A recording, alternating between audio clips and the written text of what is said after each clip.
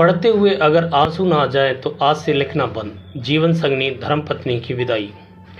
अगर पत्नी है तो दुनिया में सब कुछ है। राजा की तरह जीने और आज दुनिया में आपका सिर ऊँचा रखने के लिए अपनी पत्नी का शुक्रिया कीजिए। आपकी सुविधा, असुविधा आपके बिना कारण के क्रोध को संभालती है आपकी पत्नी। तुम्हारे सुख से सुखी है और तुम्हारे दुख से दुखी है। आप रविवार को देर से बिस्तर पर रहते हैं, लेकिन इसका कोई रविवार या त्यौहार नहीं होता है। चाय लाओ, पानी लाओ, खाना लाओ, ये ऐसा है और वो ऐसा है। कब अक्ल आएगी तुम्हें? ऐसे ताने मारते हैं। उसके बाद बुद्धि है। उसके पास बुद्धि है और केवल उसी के कारण तो आप जीवित हैं, वरना दुनिया में आपको कोई भी नहीं पूछेगा। अब जरा इस स्थिति की सिर्फ़ कल्पना करें। दोस्तों, नमस्कार, मैं हूँ आपका अपना दोस्त सर्वेश सारस्वत और आप सुन रहे हैं सिद्धि सारस्वत ब्रजवासी की कहानियाँ। दोस्तों, आज की ये कहानी आपके लिए बहुत ही महत्वपूर्ण है। कहानी को पूरा सुनिएगा। कहानी अच्छी लगे तो कहानी को लाइक कर देना। दोस्तों, कहानी शुरू करने से पहले आपसे एक छोटा सा अनुरोध है। अगर आप हमारे चैनल पर नए हैं, पहली बार कहानी सुन रहे हैं तो चैनल को सब्सक्राइब करके बेल आइकन ज़रूर दबा लें, जिससे हमारी हर वीडियो आप तक आसानी से पहुँचती रहे और मेरा हौसला बढ़ता रहे। तो चलिए अपनी कहानी की ओर। एक दिन पत्नी अचानक रात को गुजर जाती है। घर में रोने की आवाज़ आ रही है। पत्नी का अंतिम दर्शन चल रहा था। उस वक्त पत्नी की आत्मा जाते जाते जो कह रही है, उसका वर्णन कर रहा हूँ।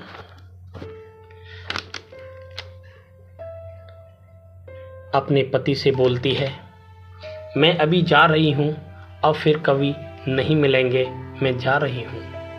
जिस दिन शादी के फेरे लिए थे, उस वक्त साथ साथ जिएँगे।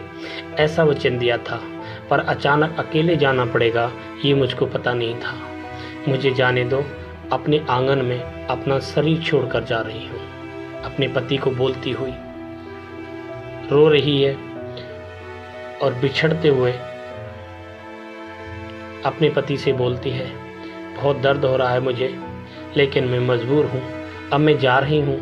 मेरा मन नहीं मान रहा, पर अब मैं कुछ नहीं कर सकती। मुझे जाने दो।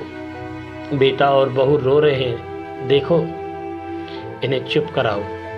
मैं ऐसा नहीं देख सकती और उनको दिलासा भी नहीं दे सकती हूँ।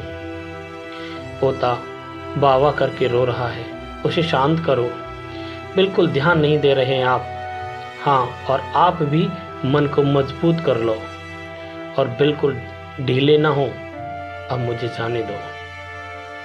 अभी बेटी ससुराल से आएगी और मेरा मृत शरीर देखकर बहुत रोएगी। तब उसे संभालना और शांत करना और आप भी बिल्कुल नहीं रोना। अब मुझे जाने दो। जिसका जन्म हुआ है, उसकी मृत्यु निश्चित है।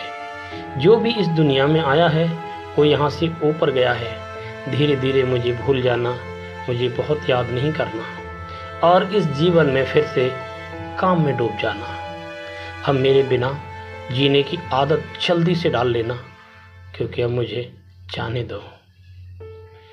आपने इस जीवन में मेरा कहा कभी नहीं माना है। आप जिद छोड़कर व्यवहार में विनम्र रहना।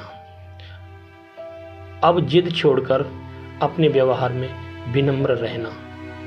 आपको अकेला छोड़कर जाते मुझे बहुत चिंता हो रही है, लेकिन मैं मजबूर हूँ, मुझे जाना होगा।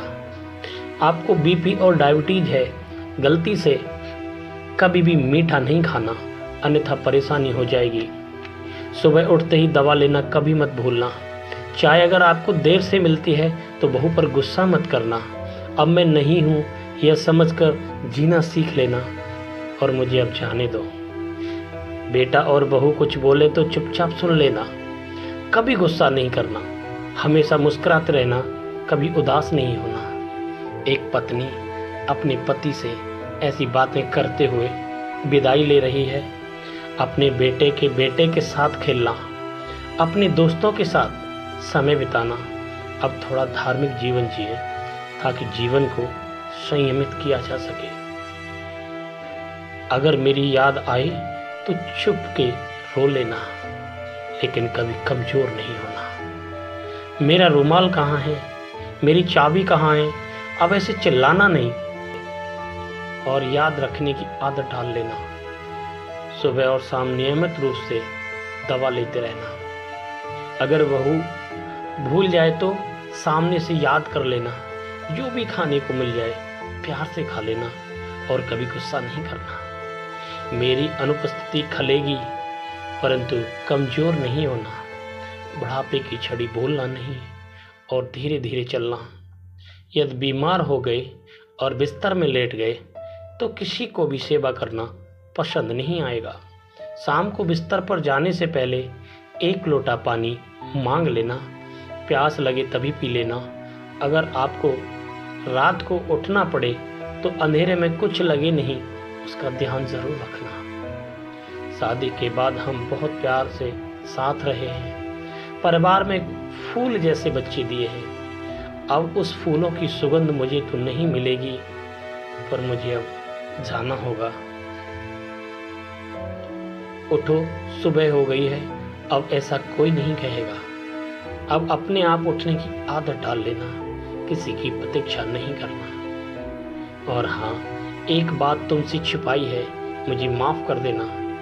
आपको बिना बताए बाजू की पोस्ट ऑफ़िस में बचत खाता खुलवा कर चौदह लाख रुपए जमा किए हैं। मेरी दादी ने सिखाया था, एक एक रुपया जमा करके कोने में रख दिया। इसमें से पाँच पाँच लाख बहू और बेटी को दे देना और अपने खाते में चार लाख रखना अपने लिए। अब मुझे जाने दो भगवान की भक्ति और पूजा करना कभी मत भूलना। और फिर हम कभी नहीं मिलेंगे। मुझे, मुझसे कोई भी गलती हुई हो तो मुझे माफ़ कर देना। मुझे जाने दो। मुझे जाने तो दोस्तों, ये कहानी आपको कैसी लगी कमेंट बॉक्स में ज़रूर बताइएगा। अगर कहानी अच्छी लगी हो तो वीडियो को लाइक करके शेयर ज़रूर कर देना।